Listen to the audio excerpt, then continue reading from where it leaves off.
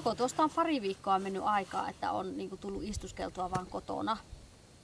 Ja jotenkin tuntuu nyt tässä vaiheessa aika hyvältä tulla vähäksi aikaa niin kuin, ulos mökistä ja vähän tänne luontoon. Ja kyllä on ollut aika koronavoittosta tuo uutisointi. Tuntuu, että mahtuuko tähän maailmaan nyt just tällä hetkellä mitään muuta, mutta, mutta tuota, mitä sitä, mahtuuko teidän arkeen sinne kotiin muuta kuin korona? Oikein mieti. Mahtuu sinne. Mahtuu sinne, että mä oon erityisesti tässä lähiaikoina miettinyt sitä, että samaan aikaan kun tulee korona ja ihmiset suljetaan koteihinsa tai ylipäätään elämänpiiri kaventuu paljon, niin tämä meidän mun mielestäni viisi kuukautta jatkunut lokakuu, pimeitä, harmaata, vesisadetta mm. ja nollakeli, niin se loppu. Ja se loppu melkein samana päivänä. Ja se on puhunut mulle oikeastaan aika paljon, koska tota, yhä edelleen ei meitä ole kielletty luontoon menemästä, mm. olemasta pihalla. Ja nyt on tarjottu erittäin tai sanotaan, että luonto tarjoaa erittäin hyvät mahdollisuudet mennä pihalle, olla siellä, nauttia. Kevät koittaa, vesisade loppuu, luonto herää. Mulle se kertoo hyvin paljon siitä, että kaiken korona ja muun keskellä niin me pystytään myös esimerkiksi luomisen ihme kyllä näkemään taas poikkeuksellisen selvästi. Ja sanotaan, että se, että valo lisääntyy ja kevät tulee, niin kyllä se kaiken koronauutisoinnin keskellä mun mielestä antaa myös toivoa sille, että elämä jatkuu. On näin, joo. Ja jotenkin tuntuu, että luonto kuitenkin voimalla puskee uutta. Se on niin pienen pieniä merkkejä siellä täällä siitä, että, tuota, että elämä voittaa.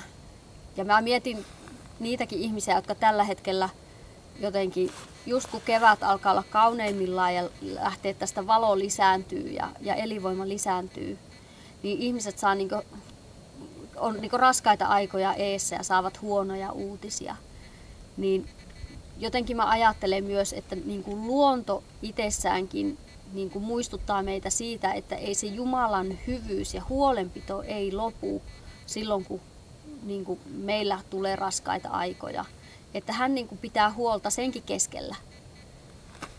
Ja se on jotenkin semmoinen tärkeä asia, jotenkin niin kuin ehkä huomata joka päivä, että on niitä hyviä, niitä asioita, mistä voi olla niin kuin kiitollinen. Vaikka niitä olisikin nyt vähemmän, niin niitä edelleen on.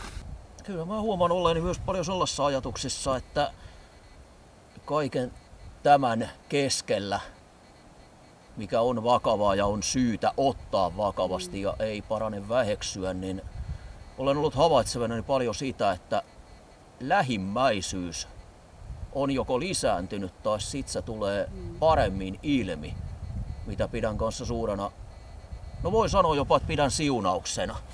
Jotenkin mä oon ollut havaitsevinani, että niin kuin lähimmäisestä välittäminen ja myös sellaisista lähimmäisestä välittäminen, joka ei tavallaan kuulu lähi- tai tuttava piiriin, vaan tällainen niin kuin yleinen lähimmäisyys, mikä on mun mielestä se, mitä kristillisellä lähimmäisellä tarkoitetaan. Mm. Että lähimmäinen on kuka tahansa, joka on sua lähellä mm. siis fyysisesti, Joo. niin en sano, että se on lisääntynyt, koska mä toivon, että se ei ole koskaan vähentynyt, mutta ehkä se, että se on olemassa, niin tulee tällä hetkellä vielä niin kuin, ainakin mulle poik- normaalia enemmän näkyviin. Mm. Ja se luo myös hyvin paljon toivoa tähän tilanteeseen. Joo. Samaan on kiinnittänyt huomiota, että ihmiset haluaa antaa apua. Mutta samalla niin kuin mun mielestä tämä tilanne myös haastaa sen, että meillä pitäisi olla myös uskallusta pyytää apua.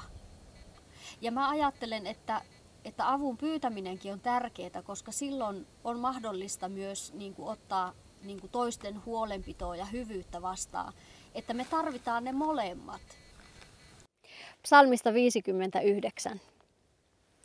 Minä laulan sinun voimastasi ja ylistän sinun uskollisuuttasi joka aamu, sillä sinä olet turvani pakopaikka hädänpäivänä. Jumala, minun voimani, sinulle minä laulan, sillä sinä olet turvani, uskollinen Jumalani.